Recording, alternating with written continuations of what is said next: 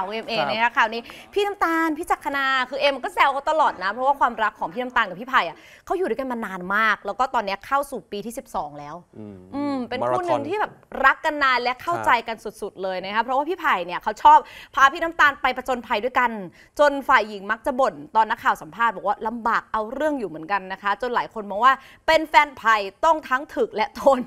งานนี้พี่ไผ่บอกว่าไม่ถึงขนาดนั้น ไม่ได้ถึกกับทุกเรื่องนะคะ เพราะอะไรที่ไม่ไหวเนี่ยเดี๋ยวตนก็ดูแลให้เองค่ะ ส่วนอีกหนึ่งเรื่องเลยที่พี่น้ำตาลเป็นห่วงมากๆ ก็คือชอบผจญภัยของพี่ไผ่เนี่ยนะคะเพราะว่าล่าสุดไปดำน้ำเห็นว่าหลุดหายไปจากกลุ่มอะ15 นาที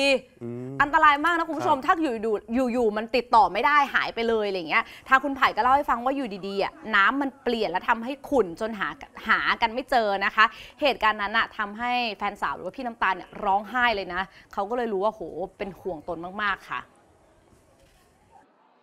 ที่ฟิลิปปินส์เมื่อปลายปีที่แล้วครับผมแต่ว่าเราดำตรงนั้นมันน้ำมันไม่ลึก ด้วยความที่ว่ามันดูปลาขนาดเล็ก ดูหนอนตัวอะไรตัวเล็ก ๆ มันใช้เวลาแล้วผมเป็นคนถ่ายวิดีโอผมต้องรอเป็นคนสุดท้ายพอผมถ่ายเสร็จผมเงยหน้าขึ้นมาอ้าวทุกคนหายไปหมดเลยทีนี้ผมก็แต่ผมก็รู้ว่าอ๋อเขาบอกว่าถ้าเดี๋ยวเขาจะไปทางนี้ อะไรอย่างเงี้ยผมก็เลยไปเรื่อยๆไปเรื่อยๆวนไปจนสุดท้ายก็มาเจอ แต่ผมก็ผมก็ไม่ได้คิดอะไรเขามาเล่าทีหลังว่าเขาอะอุ้ยร้องไห้เลย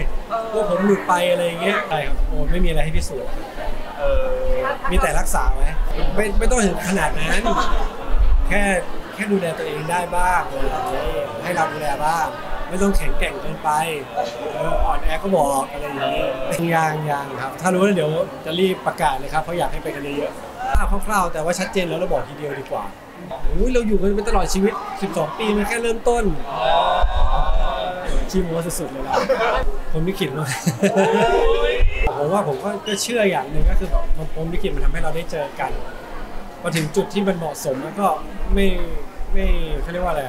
ไม่อยากจะเปลี่ยนแปลงอะไรมาก